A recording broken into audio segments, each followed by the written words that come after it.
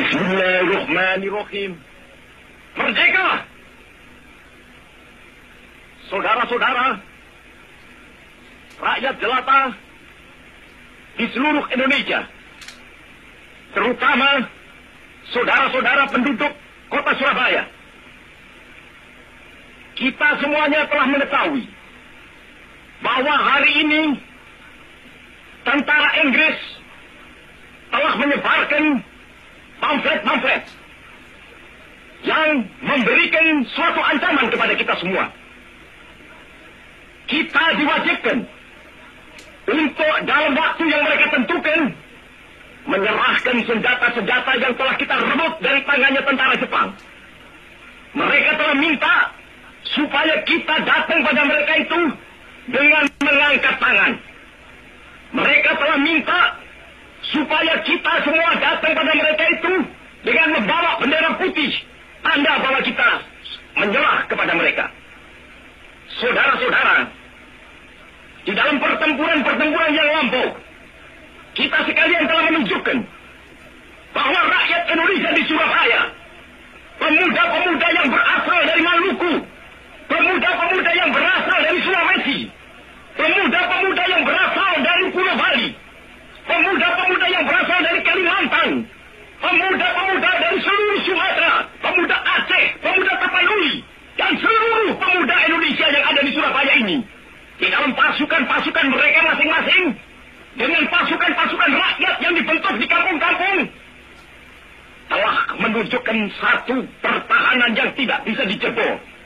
Telah menunjukkan satu kekuatan, sehingga mereka itu terjepit di mana-mana. Hanya karena taktik yang licik daripada mereka itu, saudara-saudara. Dengan mendatangkan presiden dan pemimpin-pemimpin lainnya ke Surabaya ini. Maka kita tunduk untuk memberhentikan pertempuran. Tetapi pada masa itu, mereka telah memperkuat diri. Dan setelah kuat, sekarang inilah keadaannya.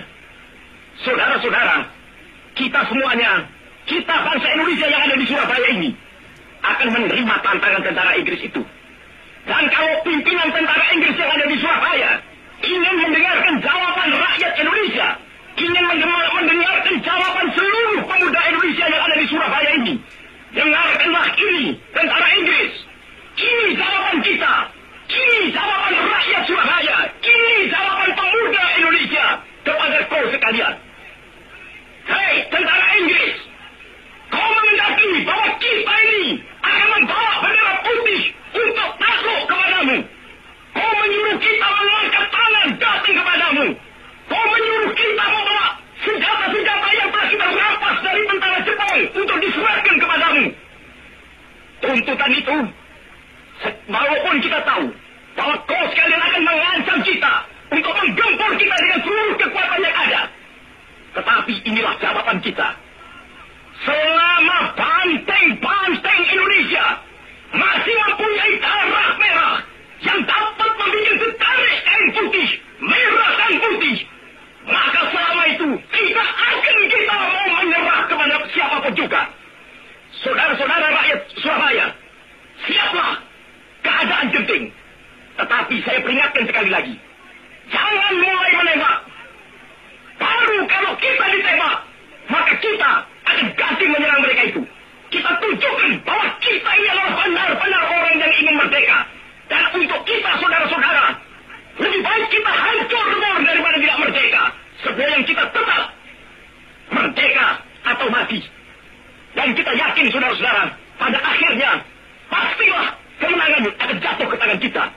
Sebab Allah selalu berada di pihak yang benar. Percayalah, saudara-saudara, Tuhan akan melindungi kita sekalian. Allah Akbar, Allah Akbar.